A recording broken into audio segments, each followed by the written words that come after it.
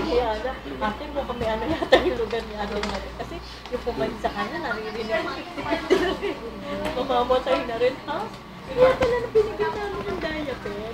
Sabi ko kasi ano yung hatamati namin. Sabi ko, pamigyan mo na lang kaya sa kasal. Hindi tinanggap nung katabi namin. Sabi ko namin.